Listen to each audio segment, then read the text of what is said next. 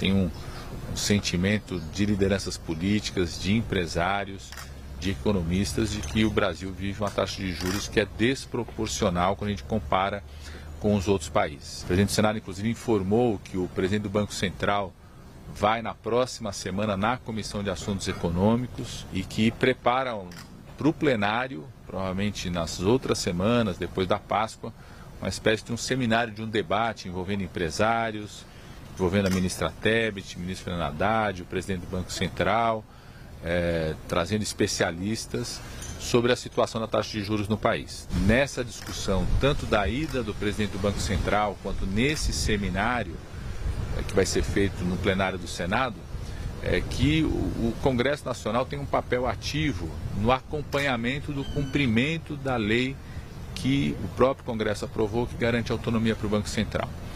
Né? Lá na lei do Banco Central, tem quatro objetivos que precisam ser perseguidos é, pelo Banco Central. É, fomento ao pleno emprego, suavizar as flutuações de atividade econômica, é, garantia da estabilidade econômica e a efetividade do sistema financeiro.